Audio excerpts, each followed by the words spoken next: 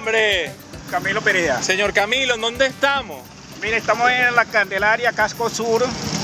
Mire, tenemos un problema aquí con la cantarilla, el alumbrado público y, la inseguridad. Empecemos por la alcantarilla. Ah. Acompáñenme, vamos, ahorita. Vela, cuidado con la alcantarilla, hermano. Le pasaste cerca. ¿Cuántos carros han caído aquí ya? Uy, infinidad de carros. ¿Lo tienen marcaditos, contados? Mira, dos tengo, pero hay más, creo, más de 200 carros han caído. Más de 200 carros. Caucho, madera, atravesar y se la llevan. Claro, porque en la noche más ni menos.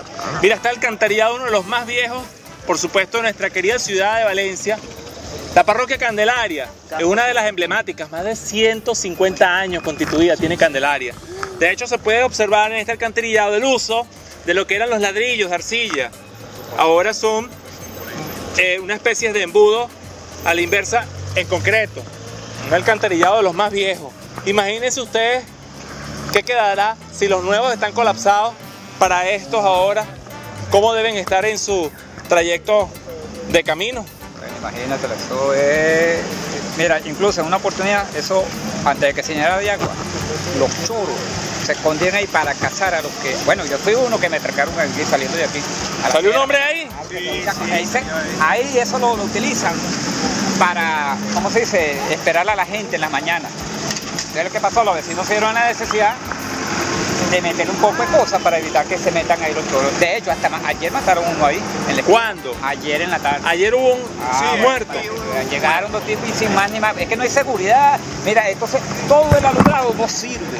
Aquí después de las 7 de la noche la gente tiene que estar encerrada en sus casas porque si te paras en la puerta de la casa cualquiera viene y lo atraca. Aquí mismo. Te y te roban. ¿Cuántos años tienen ustedes viendo en la Candelaria? Bueno, mira, yo tengo ya 30 y tantos años. Nada más. Ella tiene toda la vida. ¿Su señora esposa? No, ella es No. una vecina. Una vecina. Quisiera ella. ¿Cómo está, señora? Bien. Pero no se asuste. No, chico, no, tranquilo. Dímelo. Este, no, mira, esa problemática, yo fui la que lo denuncié.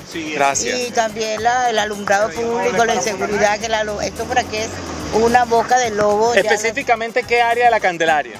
Esto es la Candelaria, casco central de la Candelaria. Pero específicamente, ¿qué área sufre de luz en la Candelaria? Todo esto, Bermudas con Azuategui. La Bermúdez con Anzuategui, Hasta allá está la feria. que es donde está aquí el alcantarillado sin tapa. Exactamente, exactamente. La tapa. Luz sufre toda la Candelaria, mi amor. ¿Cuántos Toda. años tiene usted viviendo en la Candelaria? 35 años. 35 años viviendo aquí.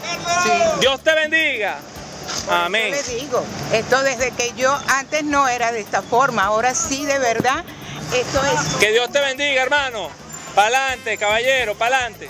esto una, una inconformidad del- de, los gobiernos. Esto es una cosa que cada, cada vez que sucede, vienen las lluvias, ni siquiera se acercan.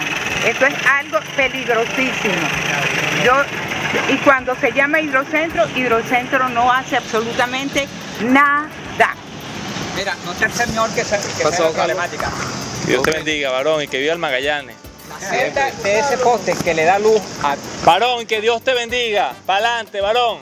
la celda o la fotocelda que le da luz a estas dos cuadras se la llevó una persona de la alcaldía hace más de dos años y todavía no la han traído. Tú esta calle, mira, como te digo, la gente no puede pararse en la puerta de la casa porque Nombre de la calle. Bermúdez Cousin.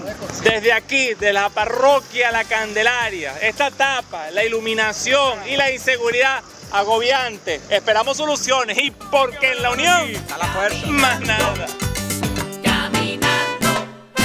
Porque así es que se construye un país grande.